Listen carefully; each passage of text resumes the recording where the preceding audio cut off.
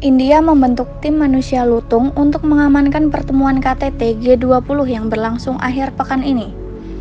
Tim tersebut dikerahkan untuk mengamankan bunga pajangan para pemimpin dunia dari serangan monyet-monyet liar. Untuk menyukseskan rencana itu, Dewan Kota New Delhi telah mempekerjakan lebih dari 30 orang yang mampu menirukan teriakan lutung. Mereka juga membuat foto-foto monyet di sejumlah ruas jalan untuk menakut-nakuti monyet yang sebenarnya. Wakil Ketua Dewan Kota New Delhi, Satis Upatyay mengatakan, tim ini dilatih untuk menakut-nakuti monyet liar agar tak merusak bunga-bunga pajangan.